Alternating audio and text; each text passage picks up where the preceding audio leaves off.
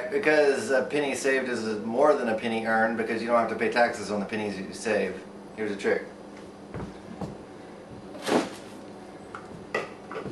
Notice I saved my little plastic Dr. Pepper bottles.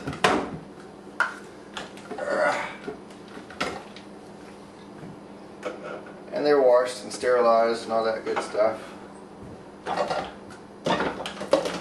Wow, a lot of them. Alright, so here's what you do. Soda is so much cheaper when you buy it by the two liter bottle, but it always goes stale. So when you pour your first glass, pour the rest into resealable plastic containers. If you fill them all the way up and screw the lid on tight, they don't go flat. Just like that. I don't know how much it saved. I should do the numbers for you guys. I'll add a comment later.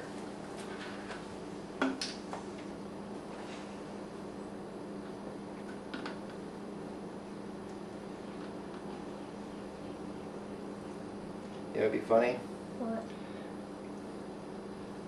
If I shook this up and had it spraying all over the place for the end of the shot.